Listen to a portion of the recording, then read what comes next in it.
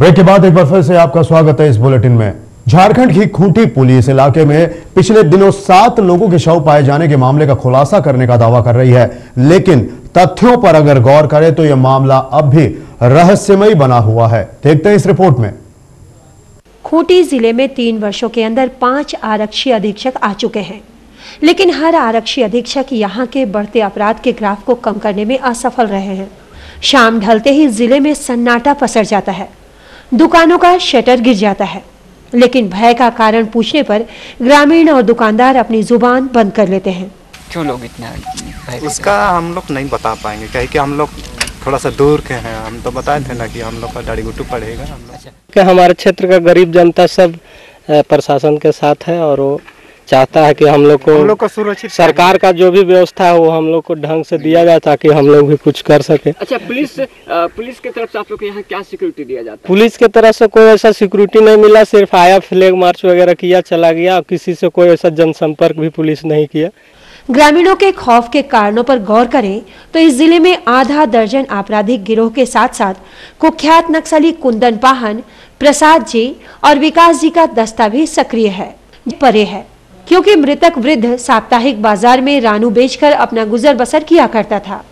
वहीं फेकनाथ मुंडा ठेकेदारी का काम किया करता था और मंगलवार को मारे गए आकाश, बुद्धू, कांडे और पूनाहा से मित्र थे। ऐसे में अगर चारों मित्र की हत्या छेड़छाड़ के कारण हुई है तो बाकी तीन लोगों की हत्या आखिर क्यों हुई? इसका जवाब भी आरक्षी अधीक्षक को देना चाहिए। विधानसभा चुनाव नहीं लड़ने के मुख्यमंत्री नीतीश कुमार के ऐलान के बाद बिहार राज्य में सियासत तेज हो गई है। विपक्ष ने मुख्यमंत्री के इस बयान पर कड़ी प्रतिक्रिया व्यक्त करते हुए कहा है कि यह गलत परंपरा की शुरुआत है। गौरतलब है कि मुख्यमंत्री ने विधान परिषद के शताब्दी समारोह को संबोधित करते हुए विधानसभा चुनाव नहीं लड़ने की बात कही थे। पेश एक रिपोर्ट। मुख्यमंत्री के द्वारा फिर से विधान परिषद में आने की बात किए जाने के बाद बिहार के राजनीतिक महकमे में एक बार फिर से यह एक चर्चा का विषय बन गया है। गौरतलब है कि मुख्यमंत्री ने विधान परिषद के शताब्दी समारोह में बोलते हुए कहा था कि फिर से वे विधान परिषद से ही आएँगे और विधानसभा का चुनाव नहीं लड़ेंगे। हमारी पार्टी ने सोचा कि भाई आप कहाँ विधानसभा का चुनाव लड़िएगा? लड़ चुके आप चुनाव, विधानसभा, लोकसभा का। अब यही रहिए एक क्षेत्र नहीं, पूरा बिहार आपका क्षेत्र है, यही काम कीजिए। मुझे भी लगा कि रही है तो रह विधान परिषद में। विधान परिषद में है। फिर विधान परिषद में आ जाएँगे।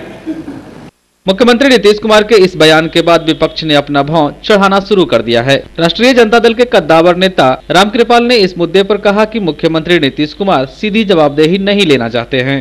ताज़ा टीवी के इस बुलेटिन में फ़िलहाल इतना ही लेकिन एक छोटे से अंतराल के बाद अन्य खबरों का सिलसिला बदस्तूर जारी रहेगा। बने रहे ताज़ा टीवी के साथ।